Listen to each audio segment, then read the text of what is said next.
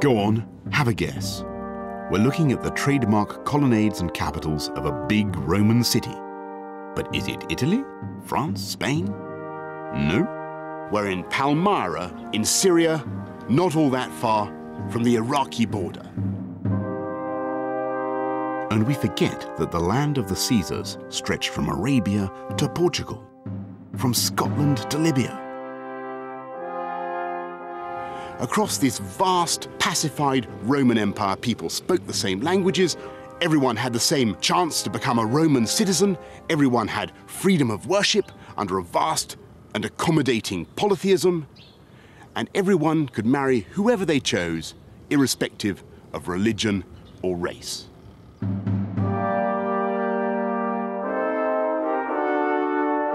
Today, that unity is gone and the great Roman territory has been effectively divided in two. There is the Christian world and the Muslim world. And for 1400 years, relations between the two have been marked by rivalry, mistrust, incomprehension, and a simmering mutual antipathy that still afflicts us today. These programs are an attempt to discover the origins and the seesawing history of what some people call the clash of civilizations. What do they mean by that? Is it true that there is such a thing? And will it ever end?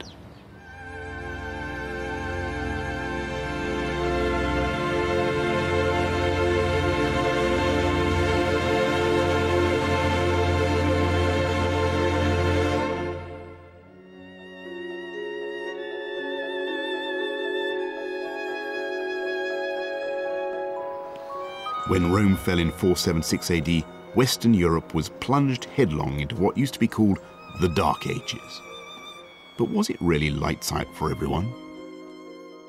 Let's face it, we have a pretty Monty Python vision of the Dark Ages as a place of mud and illiteracy and embarrassing diseases, a kind of cringe making adolescence of Western civilization in which people hurled dead cows over castle battlements and drew endless lumpy pictures of the torments of hell. And yet, of course, there are plenty of historians who say that the Dark Ages were by no means as dark as all that. And in the centuries after the fall of Rome, in 476 AD, the Roman roads continued to function, and though the bridges may have been a bit dilapidated, they could be repaired with pontoons, and the currency continued to circulate, and that effectively a great unified civilization continued to flourish about the shores of the Mediterranean.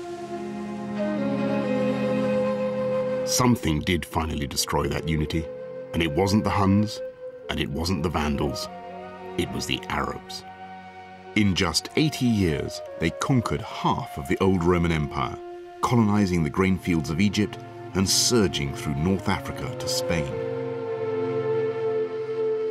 And the crucial difference between the Arabs and all previous invaders was that the Arabs were not seduced by that intoxicating Roman brand and they didn't adopt Christianity. They were to develop their own distinctive culture.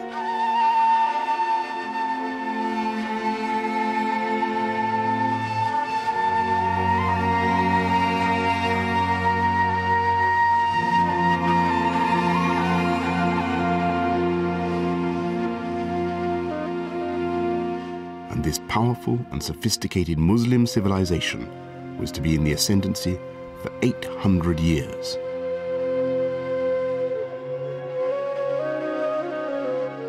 And that memory is important to Islamic extremists today when they consider what they now think of as the humiliation of the Arab world. In this series, I'm going to travel around Europe to the Mediterranean and the Middle East to look at some of the flashpoints in relations between Christianity and Islam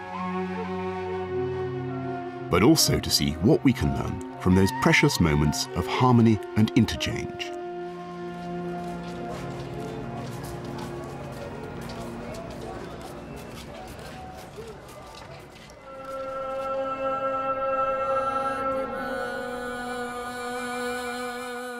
To understand the origins of this long-running antipathy, we need to grasp a key fact of geography, namely that Arabia, now Saudi Arabia, was never really part of the Roman world. The Arabs traded with Rome and supplied plenty of mercenaries, and even an emperor, Philip the Arab. and they supplied the camel, the heavy goods vehicle of the ancient world. But unlike their monotheistic neighbors, the Christian Roman Empire and the Zoroastrian Persian Empire, the desert Arabs remained a mostly polytheistic people. At the beginning of the 7th century, the Arabs still believed in many gods and idols, until a 40 year old man called Muhammad underwent a profound religious experience. In 610 AD, Muhammad received his call to prophethood and changed the course of history. And some have seen this as a bolt from the blue, a new divine message for humanity without any previous source or influence.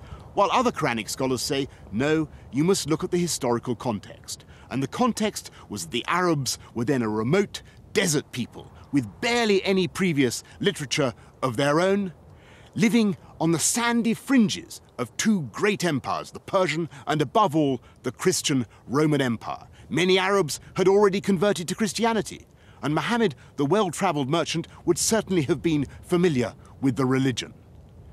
But the advantage of Islam for the Arabs was that they could adopt it without any implicit political submission to the Christian Roman Emperor, and above all, as the final superior faith, and one which appeared in the Arabic language, it gave expression to the growing Arab sense of confidence and identity.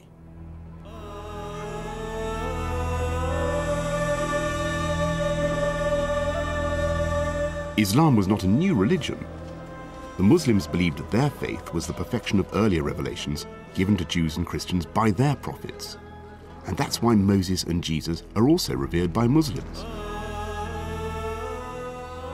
If you ask a religious person, uh, then he will tell you that Abraham knew something about the true religion. Then Judaism, it was a little bit better. And then Christianity is better than uh, Judaism because every, every time God will give these prophets and these messengers more information. Till when Muhammad came, then the original one, the final uh, religion, was given to Muhammad. So his idea was that he wasn't bringing a new religion. No, he was just correcting and finalizing right. an ancient religion which can be traced right the way back to Abraham. Right. Because the Arabs have this relation with this area, with Syria and Egypt and Iraq, so they were influenced by Christianity and Judaism, and it seems to be they wanted a religion of their own.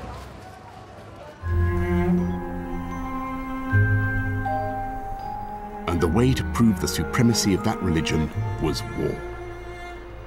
In 637, only five years after Muhammad's death, the Arabs conquered Jerusalem not only the most important city in Judaism, but also the place where Christ preached and was crucified, where Constantine, Rome's first Christian emperor, had ordered the construction of the Church of the Holy Sepulchre. And what did Muhammad's successors do when they got there? They set about visibly demonstrating that Islam was the culmination of Judaism and Christianity. This is Al Haram al Sharif, the noble sanctuary. After Jerusalem was destroyed by the Romans in 70 AD, this whole area was just rubble. The first thing that the Caliph Umar, Muhammad's second successor, did when he got here was to order the whole area to be cleared. And here was built this celestial golden dome of the rock,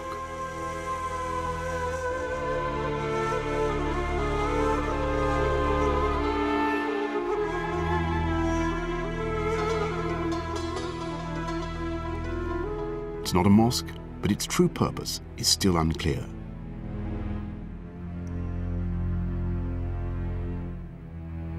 Rock inside the dome is this small lunar patch of limestone, upon which there used to rest the Ark of the Covenant itself.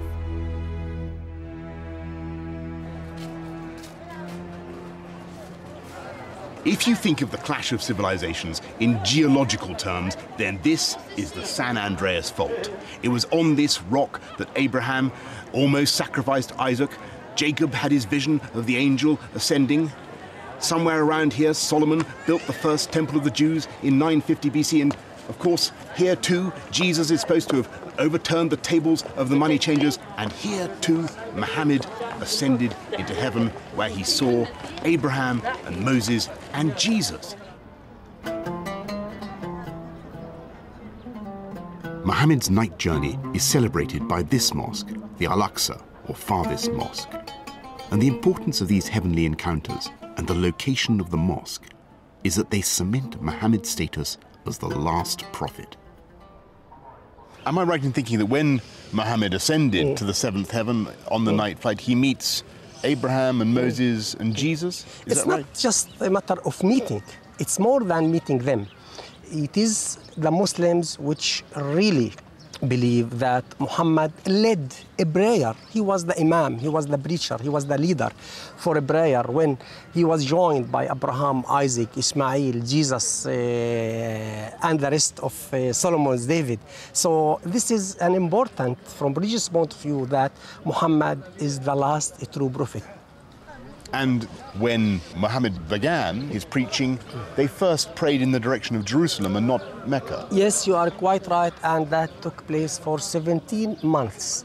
For this reason, also Jerusalem is considered important for Islam because it is the first Qibla. Qibla is the direction, among other factors why Jerusalem is important. So it is the first Qibla. The Qibla is the direction in which Muslims pray, now, of course, towards Mecca.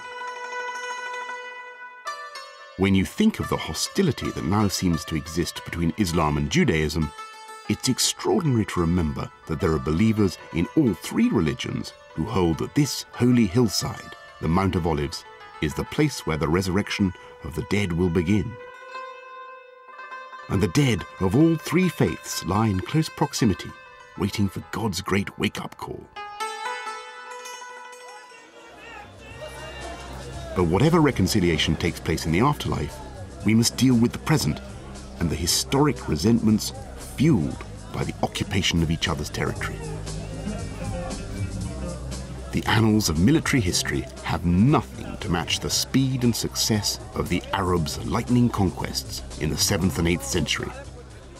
The Prophet died in 632, and uh, four decades later, they settled in Egypt, in central Persia.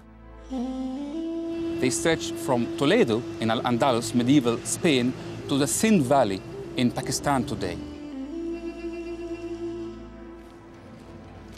The most prevalent and popular view is the classical one that Islam was programmed for success. And the fact that it so rapidly swept all over the Mediterranean uh, world uh, and the uh, conquests are regarded as a special miracle granted by God in order to confirm the truth of the Islamic religion and the Islamic message. And this is why you have a revivalist movement, is that if you revive your commitment to Islam, then the divine favor will come back, will again prove that our God is the true and correct one. Arab horsemen carved huge tracts from the enfeebled empires of Persia and the Eastern Roman Empire, known as the Byzantine Empire to those in the West. And as they swept through the Eastern Roman Empire, they found Christian heretics who had at least this in common with Islam that they denied orthodox teaching about the divinity of Christ. There were all sorts of sects holding all sorts of positions Enophysites, Monophysites, Nestorians, Copts, and these heretics were increasingly persecuted by the middle of the 5th century by the Orthodox Church in Byzantium. Fed up with being bossed about by their Byzantine overlords, they may have been attracted by one aspect of Islam in particular. There is no clergy in Islam. Any Muslim just adopt Islam has no middleman between him or her and Almighty God. So it was not like Judaism or Christianity that encouraged many people to adopt this simple, direct religion.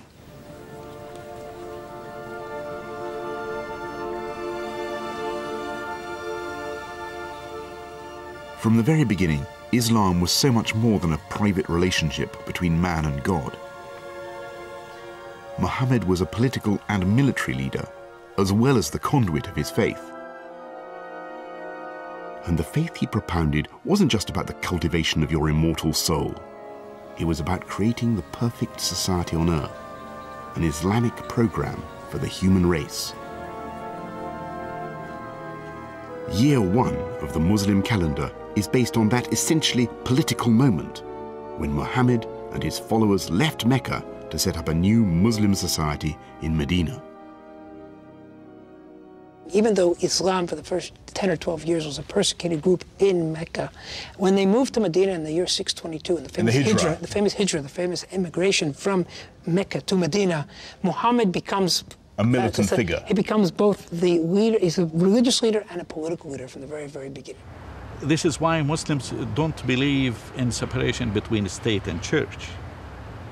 I myself believe that there was a separation between state and church because when we read the Quran, the Quran speaks almost only about religion. It doesn't speak about the state and how to run the state. I believe there was even a separation between church and state even in the time of Muhammad. How to appoint a caliph, how to run the state, how many ministers uh, to be there, everything, everything is secular. But for some reason, the theologians insist that this was part of the religion.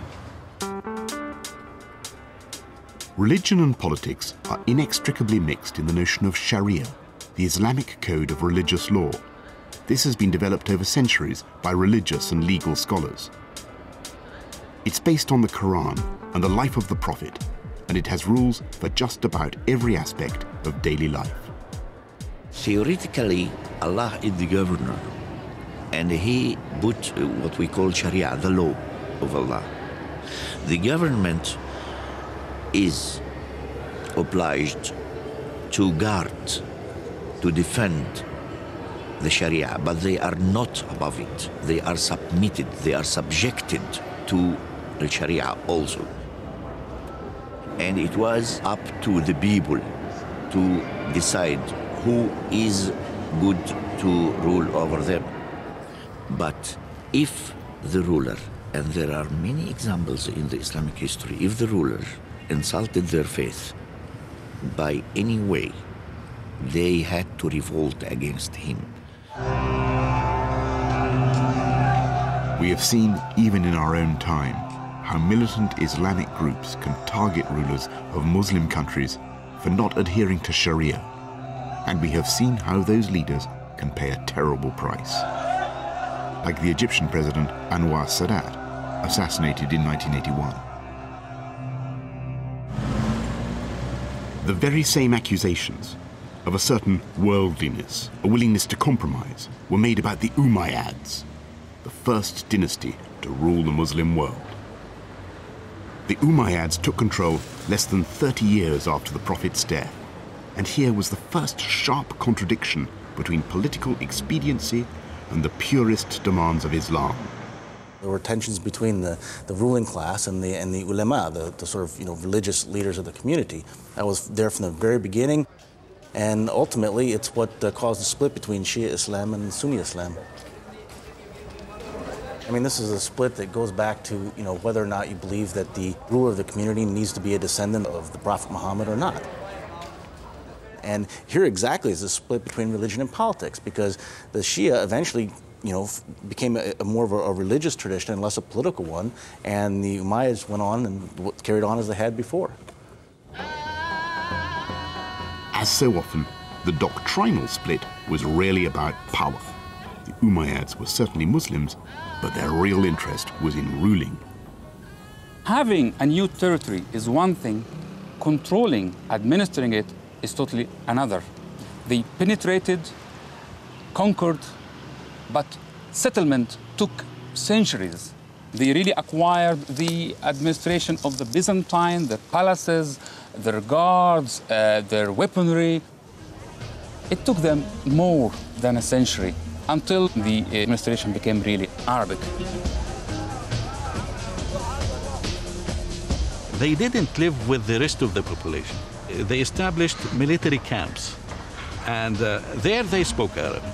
So everybody from the cities and from the villages who went there, they have to speak Arabic because they are the, the leaders and they have the money and this and that.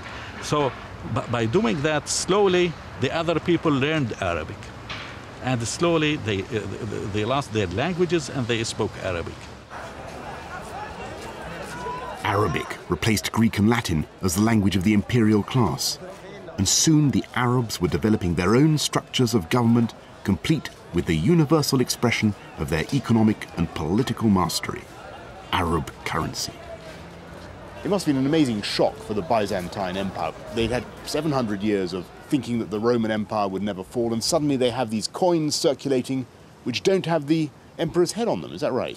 Yes, and this is really prove that the Arabs didn't have only the military ability, but also the administrative, economic, and cultural ability.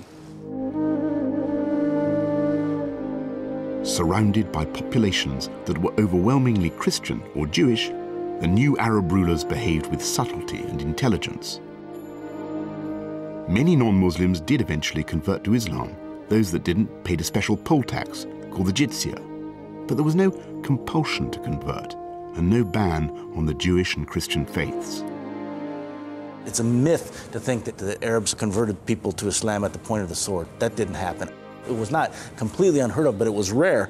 And usually it was a, a decision that people made themselves um, for a whole variety of uh, reasons. It was a combination of personal and political, social, cultural. When we look back at the history of this fabulous Umayyad mosque in Damascus, we have a tantalizing glimpse of a brief, shining moment when Christians and Muslims were even prepared to share the same house of God.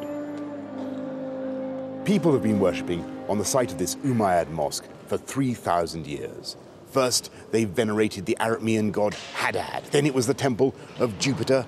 Then the Christians converted that into a basilica. And when the Muslims arrived here in 636 AD, it became part mosque, part church, with the Christians coming in one door and the Muslims entering the other. And even when the Muslims razed that building to create this enormous mosque, it still physically expressed the organic interrelationship between the two religions. There's a shrine to the head of John the Baptist with real skin and hair. There's a minaret of Jesus. And Justinian II sent from Constantinople Byzantine craftsmen to help create these fabulous golden mosaics.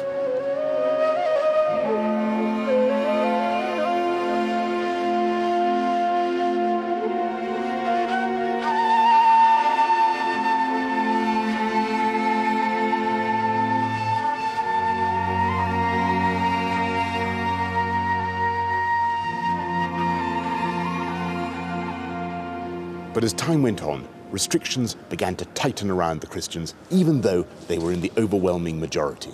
They weren't allowed inside the mosque, they weren't allowed to build new churches or to repair old ones or to go out in the streets without a zunar, a special identifying belt, or to beat their gongs too loudly, or to build their houses higher than Muslim houses. You could not imagine a more effective system of cultural dominance.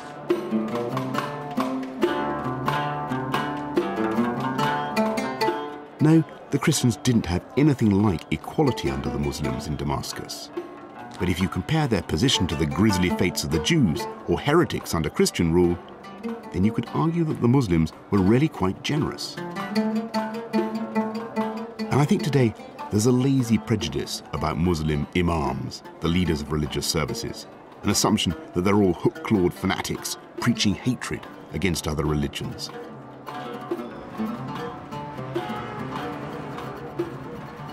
One way to correct that prejudice is to go on a Friday to the Damascus Mosque, where Dr. Mohammed Habash pours forth a mesmerizing gospel of tolerance.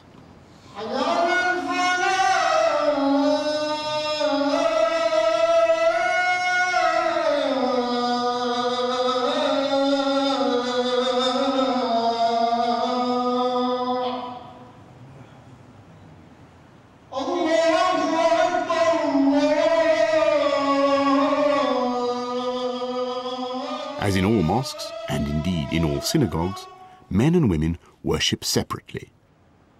بدأنا بالبسملة ورأينا أن الله عز وجل غلب صفته Dr. Habash notes repeatedly that Allah is the God of all men and highlights positive moments in the treatment of Jews and Christians by the caliphs who succeeded Muhammad. ودعوة لسائر عباده ليدخلوا في We believe there is wisdom in Christianity, There is wisdom in Judaism. There is wisdom in Hinduism. There is wisdom every place around the world. There is wisdom, and there is this is our message to search for wisdom. Now, Dr. Al Habash is also a Syrian MP, and it may be that he's telling me what he thinks I want to hear, but it sounds sincere enough. Our message is God created all humanity. All humanity are like one family. This is a family of God. We believe God is one, but his names are many. Mm-hmm. Reality is one, but its ways are many. There is something in Al Habash's open minded approach that recalls the golden age of Islam, the intellectual adventurousness of the new dynasty that took over the leadership of the Muslims in 750. They were called the Abbasids, and they moved the center of gravity of Islam eastwards to a new built city, Baghdad. Baghdad was the major administrative and economic capital and cultural capital, and the intellectuals, you know, thinkers, you know, uh, resided there, and they were patronized by the state.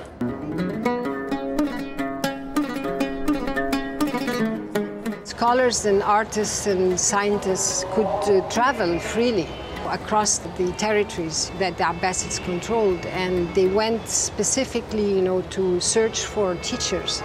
So they were in pursuit of knowledge.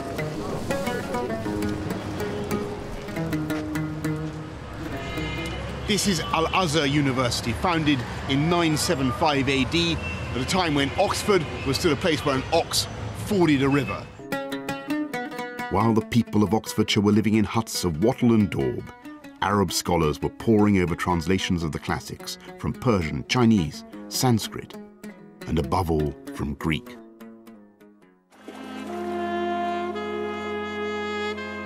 Anything scientific or philosophical was preserved, studied, and then passed on round the Arab world, through North Africa, and back to Europe.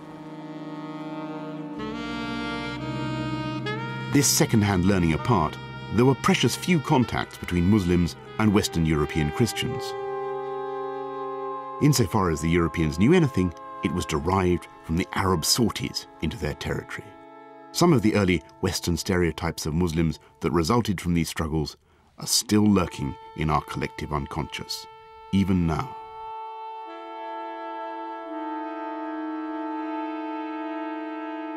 Within 80 years of the death of Muhammad, the Arabs landed in Western Europe. Here then was the beginning of a clash of civilizations, and it took place in Spain. I'm here in Tarifa on the southernmost tip of the European continent, called after Tarif, who came here in 710 on a reconnaissance mission. A year later, they came back, mob handed, captured the whole of Spain up to the Pyrenees within seven years, and within about 20 years, they're only a couple of hundred miles short of Paris itself.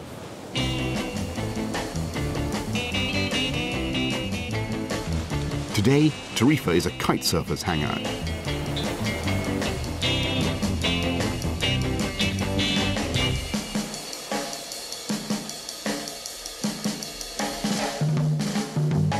If you want to know why the wind is so strong, it's because this is the Atlantic coast. The Arabs started at the Red Sea, and within 80 years, they'd come as far west as it's possible to go. Or is it?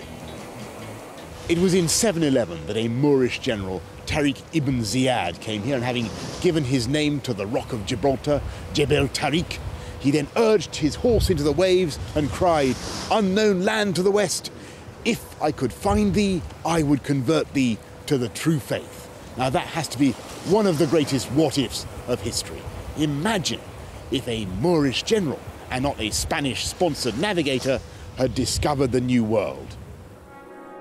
Instead, they pushed on north into France, and in 733 there took place a battle that has loomed large in the fevered imaginations of Western Europeans. Because it was only at Poitiers, less than 200 miles south of Paris, that the Muslim armies were finally halted by Charles Martel. For a long time, it was seen as the turning point of European destiny. And in the words of Gibbon, the Rhine is not more impassable than the Nile or Euphrates, and the Arabian fleet might have sailed without a naval combat into the mouth of the Thames. Perhaps the interpretation of the Quran would now be taught in the schools of Oxford, and her pupils might demonstrate to a circumcised people the sanctity and truth of the revelation of Muhammad. Now, I'm a big fan of Edward Gibbon, but is he still thought to be sound 200 years on? Miriam, tell me about the Battle of Poitiers. Mm. I've always been told that it was a real key moment for the history of Europe. Charles Martel, had he not won, Mm. the whole of European history would have been different. Is that right? No, that's not. That's not right. That's not right wrong at again. all. Yes, totally wrong. In fact, um, in fact, this battle is uh, une parmi tant d'autres. Uh, one battle inside all the battles. Uh, in fact, we are at the moment when uh, Muslims could not go further uh, into the north. Uh, you see, uh, at, th- at that time, um, they they began to be to be à être battus. Ils ont commencé To be beaten. Yes, they began to be beaten. Uh, in fact, there is Poitiers, but uh, there are other other battles. They were starting to lose Yes, anyway. exactly. You mean they were reaching the natural limits of their yes, advance? yes, that's the that is the idea. Okay. Yes, they had settled in Spain and also in the south of France. So I think that they wanted to stay. They wanted to consolidate. uh, Consolidate that particular what territory. they what they had. In France, Poitiers became part of a national myth as historians looked back at the 7th and 8th centuries and concluded that this first clash between Islam and Christianity was genuinely decisive in the creation of modern Europe and in the destruction of the ancient world. For centuries, indeed, the greatest historical minds have puzzled over why the Roman Empire declined and fell in the first place. In 1935, the great Belgian historian Henri Pirenne supplied a revolutionary answer. It wasn't the Germanic tribes who wrecked the unity of the Roman Empire, said Pirenne. Oh no. They may have had wacky Germanic names like Gondebaud and Clodomir, but they still used Roman coins, they still spoke Latin of a kind, they still aspired to Romanitas. And in fact, it wasn't, said Pirenne, until the middle of the 7th century when suddenly the Arabs arrived. And with lightning speed, they swept through some of the richest territories of the old Roman Empire. And it was then, he said, that the economic unity of the Roman system was destroyed and the sweet, slow sunset of the Roman Empire gave way to the Middle Ages. And instead of a great whole, you had two opposed civilizations with little understanding of each other and not even much interest in each other.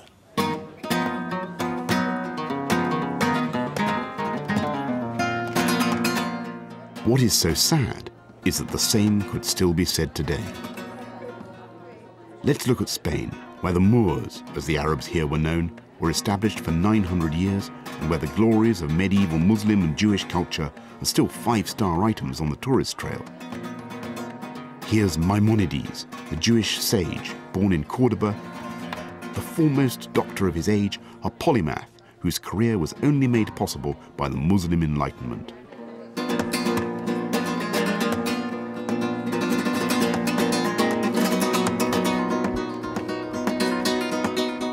Though his toe is still stroked by reverential tourists, and though this very flamenco music may have Muslim roots, there are some Spaniards who are a little resentful of the touristic obsession with Spain's Moorish past.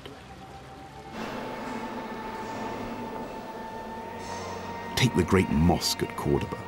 You'll find plenty of Spaniards keen to point out that it's now a Roman Catholic cathedral built on the site of an even earlier Christian church, dating from the time of the Visigoths, whom the Moors had superseded.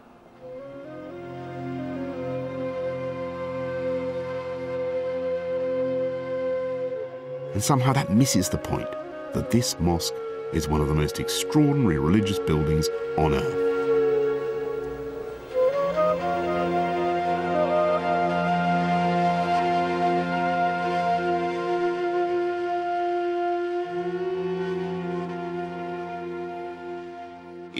Structures like this that gave medieval Cordoba the name the ornament of the world, with its fountains, its thousands of libraries, well paved, well lit streets. It made places like London look frankly barbaric. And 10th century observers came back stunned with tales of this city of 900 baths and its library with 600,000 volumes, and everywhere men devising new techniques for irrigation, silk manufacture, algebra, astronomy. Before knocking off a quick lyric in which they liken their beloved to a pomegranate or a persimmon on the new paper they were introducing from Andalusia to the rest of Europe. And if they were really lucky, the visitors might be admitted to the enchanted world of Madinat al-Zahra, a 10th century summer palace built by the Muslim Caliph of Cordoba and still being excavated today.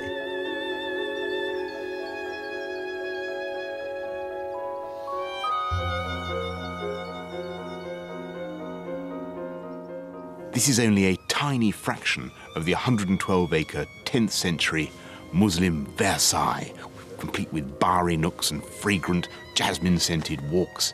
And if you're asking yourself why the Caliph built this here on the hill overlooking Cordoba, it wasn't just because it was cooler or because they could make use of the running water. It was so that the people for miles around could see this great white city, this symbol of Muslim power and luxury. In fact, the whole thing was so deeply civilized that recent commentators have been tempted to idealize Moorish Al Andalus. They have seen it as a social paradise, a lost Eden in which Moors, Jews, and Christians lived in the kind of perfect harmony you associate with a glutinous song by Paul McCartney and Stevie Wonder. They've called it convivencia, convivencia, living together.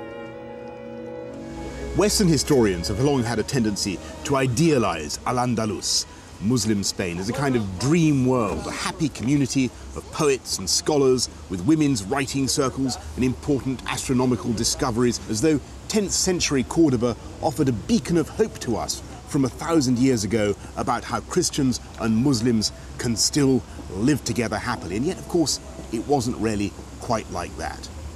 What sticks in the mind is not just the occasional persecutions in which both sides indulged, it's the standoffishness of one religious community toward the other, the lack of interest, the refusal properly to mix. Convivencia may have meant living next to each other, but it wasn't a multicultural melting pot. For one thing, the Arab overlords conducted their usual policies of discrimination against the non Muslims in their midst. They had to accept second class citizenship. They had disadvantages like uh, not uh, uh, being able to hold power offices. They could not uh, be superior to Muslims in any way, say, uh, to have a, a, Muslim slave was impossible, uh, whereas a Muslim could have Christian slaves or Jewish slaves. And were they encouraged to convert to Islam? Yes, they were. And there was a proselytizing process and, uh, in all the areas conquered by the Muslims.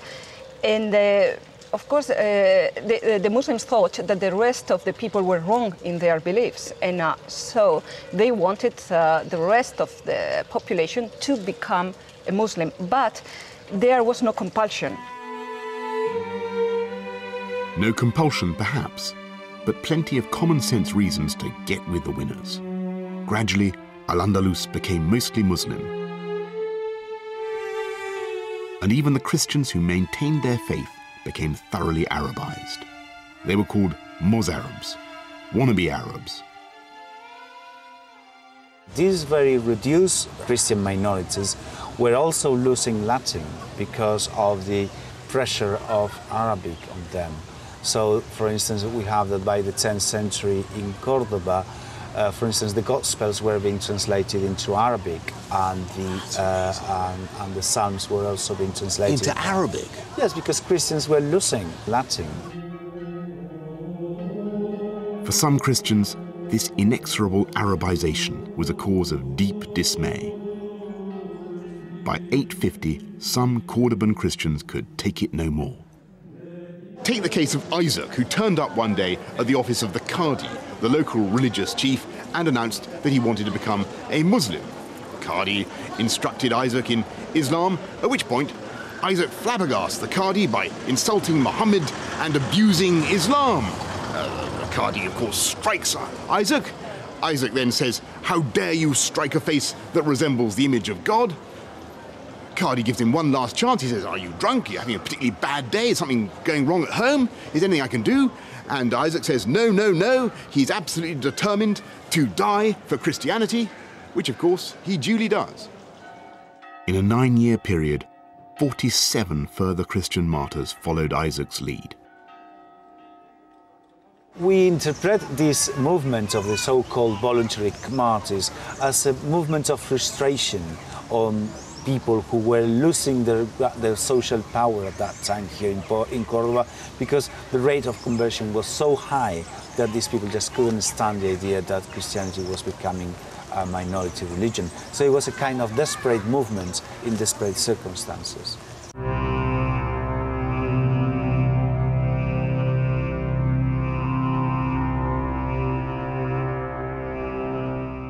Now, there's no real analogy between the Cordoba martyrs and the Muslim suicide bombers of today. The Christians didn't set out to kill innocent people. But the two groups are alike in at least one respect. I think the kind of spectacular terrorism we are seeing of this Islamic world is, in my interpretation, very much a, a, product of, of a sense of desperation uh, uh, rather than uh, of uh, self-confidence that all other means have been used and there is nothing left except this kind of destructive, spectacular terrorism.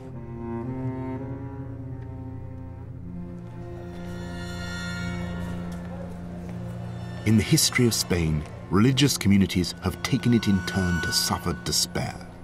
First, the Christians experienced the erosion of their religious and cultural identity and responded with fanatical protest. And then it was the turn of the Jews and the Muslims, expelled in the 1600s. And under the Catholic monarchs and General Franco, it was the Muslim contribution that was airbrushed out of history, and Catholicism became a state sponsored religion. I was born in a generation under Franco regime where everybody was forced to be Catholic, where any other religion uh, different than Catholicism was forbidden and even you could, could go into prison if you have any outward manifestation of any other religion.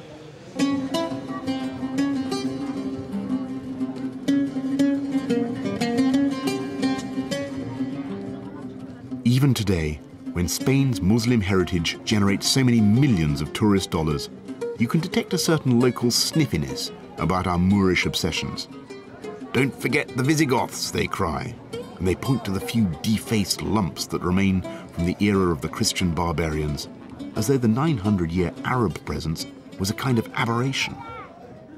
Las cúpulas, las cúpulas, las cúpulas eh, por ejemplo, los mosaicos, todo, se trajeron a los mejores orfebres bizantinos pagados para que le hicieran esos trabajos. Luego de innovación eh, árabe nada de nada, sino dinero y pagar los mejores que había en aquel momento en el mundo. ¿Qué crees de la herencia musulmana aquí? A... Claro, pero fueron copiando muchos de los romanos. Muchos de los romanos. Ah, los musulmanes. Los romanos tuvieron antes que los árabes aquí en Andalucía. Sí, sí. You think this, much of the culture is, is Islamic? No. No. No. No, no, no. They, oh, no, no. No. It derives from the yeah, ancient yeah. Visigoth, from the ancient Christian yeah, culture. The Visigoth and the, in the north the Celtic, pienso que quizás se le da demasiada importancia, sobre todo en este momento y en este siglo, a la prominencia de la cultura islámica. Ha existido, ha tenido muchas cosas importantes y aquí está, pero es una más, como nos podrá pasar a lo mejor dentro de dos siglos con la multiculturalidad. The sheer ignorance that exists in this country about Islam and about uh, the Islamic past. I mean, that's a, that, and, and, that's a pity. And um, it's surprising to which extent people ignore the richness of the Islamic uh, civilization in this country. People want to somehow stress this Visigothic heritage, but obviously the Visigothic heritage is I mean, it's, pretty. It's, it's pretty difficult to work out what it is. It's difficult to work it out. Yeah. Many people are proud of the Moorish past, but that's not to say they look forward to a Moorish future. We made the difference. No, no, we, but people in general people. made this difference that the Alhambra was made for another Moorish people, yes. but not this Moorish people right Not now, the Moroccans who come and exactly. live in modern yeah, Granada. The ones, uh-huh. and maybe they have kind of problem with these people. It's a question of patriotism. People who think like Spain is like my, uh, my nation. Country. Yeah, my country. Yeah, and, and they want like very white and perfect uh, people. They don't want no Muslim or not anyone to come here. But uh, maybe it's a half of Spain thinks that is all right, and the other half of Spain is like afraid of this. Maybe they're just scared. The Spanish are, of course, not alone in suffering from the odd bout of racism or xenophobia. But if you put the Spanish nation on the psychoanalyst's couch, it's easy to see how history has conditioned their subconscious. It is a history of bloody battles between Moor and Christian, the Christian kings in the north were increasingly warlike, and their determination to repel the invader was fueled by an increasingly religious fervor, which made life tricky for the Christians still in Moorish territory in Al-Andalus. Even though legally speaking they had the same status as Jews, they were never considered the same as Jews because they were a, a fifth column. Uh-huh. They were a military threat. Eh, they could be in contact, they could be spies, they, were, um, they could be seen as spies or people who have alliances with the Christians of the north. And yet it wasn't the Christians who destroyed this palace of flowers, Madinat al-Zahra, in 1010. It was Muslim Berber tribesmen. And this Muslim civil war gave the Christians their chance. After centuries on the back foot, Christians were advancing in Spain Sicily had been recaptured for the cross, and now Christian eyes were turning east as they contemplated a grandiose plan of reconquest the Crusades.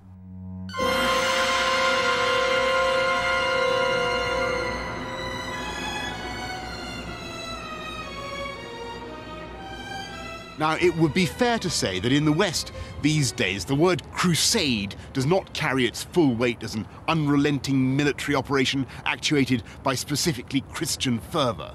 For instance, the other day I heard a colleague of mine call for a crusade to ensure that rubbish skips were installed with flashing lights as well as reflective signs. I can't imagine that a thousand swords are going to leap from their scabbard to fight for that one.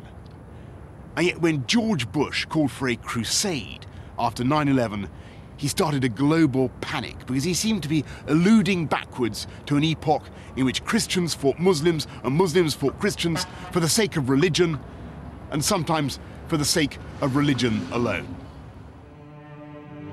It began in 1095 with the most bellicose Christian sermon of all time. Pope Urban II appeared before a vast crowd in Clermont, France, and called for an armed pilgrimage against the Muslims in the Holy Land, the place the Muslims had conquered 400 years earlier. And you may wonder how Western Europe plucked up the courage to challenge Muslim supremacy. On the face of it, we've got a mystery. For centuries, the Arab world has been firing on all cylinders. They've been charting the heavens and investigating the circulation of the blood and cracking complicated algebraic equations. And they've been full of intellectual and military confidence, while Western Europe has been sunk in lethargy, a world of stumbling ox carts and mumbling monks and homicidal popes. And yet it's Western Christendom that manages to shake itself out of its lethargy and mount these extraordinary expeditions. It's partly a function of the relative unity of the two civilizations. At the height of their powers in the 9th and 10th centuries, the Muslims were united. But Western Europe was plagued by the feudal system, with power contested between barons and counts and lords. Jonathan, you know that film Pulp Fiction where this guy called Marcellus says, I'm going to get medieval on your ass? And that immediately connotes ideas of barbarity and violence and very, very nasty practices. Is that fair on the Middle Ages? It is and it isn't. Violence is a very, very clear and powerful feature of 11th, 12th century Europe. The reason why it's such a violent society is that order is broken down. You've got these small lordships, castellans, and these guys are laws unto themselves. They can charge around attacking peasants, churches, the vulnerable, the weak. They take money from them, they take their cattle, their crops, and they enrich themselves. At this stage, the popes in Rome were happily assassinating each other like minor characters from The Sopranos. But as the 11th century progressed, the Catholic hierarchy began to get its act together. The church decides it has a moral responsibility to do something about this. It needs to try and steer its flock, if you like, in a better moral direction. Violence is bad. And so one of the things it tries to do is initiate something called the peace of God. And what this is, is the church telling and making knights and, and people in society swear on an oath they will not harm certain groups of people, uh, the poor or, or churchmen, or the truce of God, that for certain periods of time there will be no violence.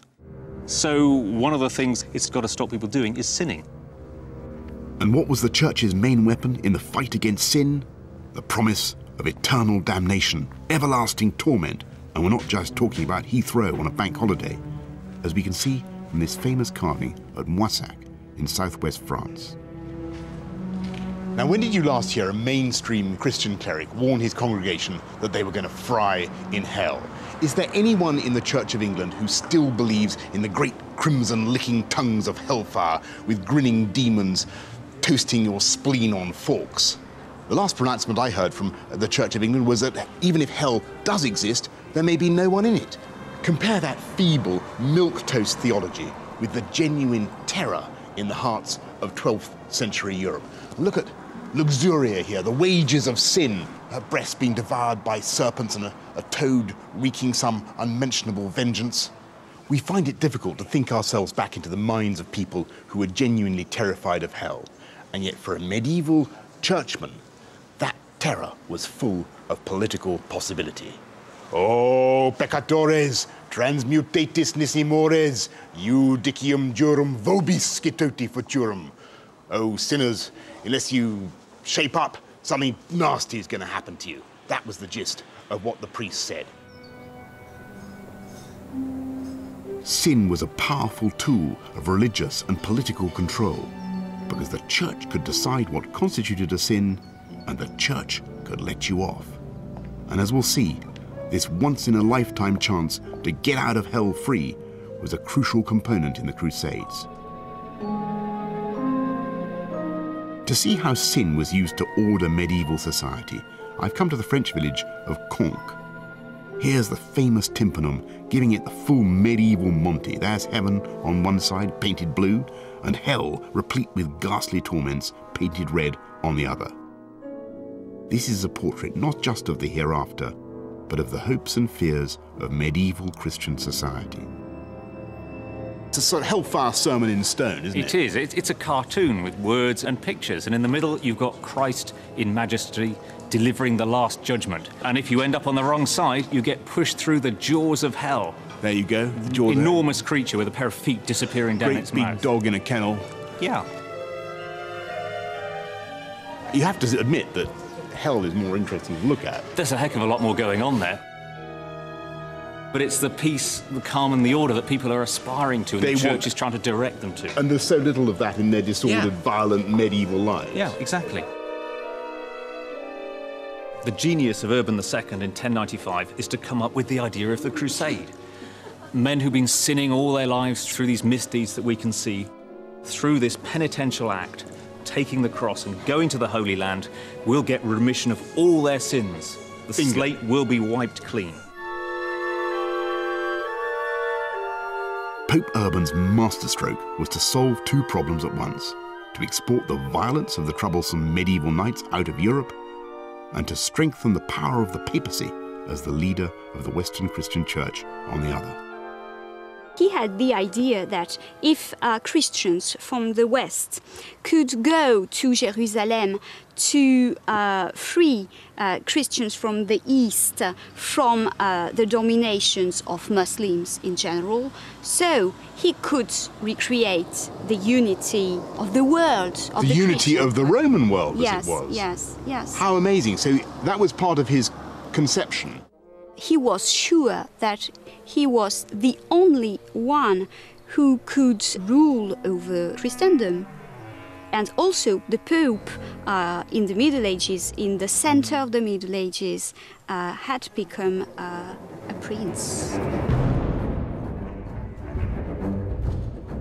It was one thing for the Pope to send out crusaders to capture the holy places, it was quite another to hold on to them. When Urban II makes his speech at Clermont, he promises the Crusaders the land of milk and honey. And what he's doing there is being realistic. OK, they've got to go for the right reason, the, the religious uh, intention, cleansing Jerusalem and all that. But he's not stupid because, of course, if they do that and then all come home, it's pointless. Self evidently, some people have got to stay and they will be promised that land. Add to this the long lasting Christian antipathy towards Muslims and a powerful resentment of their occupying Jerusalem, and you have a recipe for the extraordinary combination of pilgrimage plus violence that was the Crusades. Some 60,000 persons set off for the Holy Land. Not only knights, but also peasants, preachers, and assorted misfits. The main body of knights arrived in Constantinople in July 1096. Three years later, after a long series of arduous and bloody sieges, they arrived in Jerusalem. Here they slaughtered between 20 and 30,000 people, Jews as well as Muslims.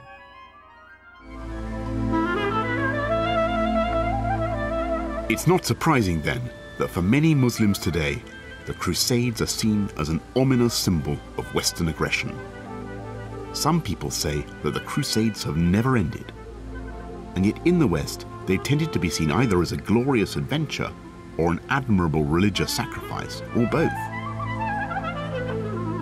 The way the Crusades are viewed by many in the Muslim world today is at the heart of the current crisis.